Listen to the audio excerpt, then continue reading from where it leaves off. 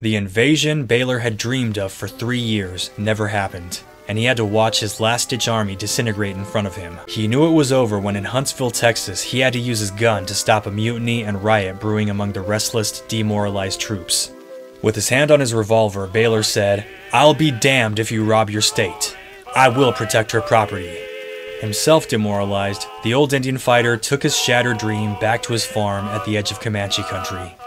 As Baylor walked away from his brigade and dreams of redemption, the remnants of the 4th Texas Arizona disintegrated into literal banditry.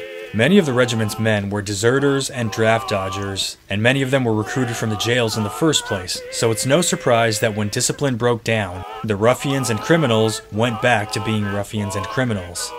They went roving through the West Texas countryside, preying on civilians with robbery, rape, and occasionally murder, resulting in other Confederate soldiers being deployed to hunt them down.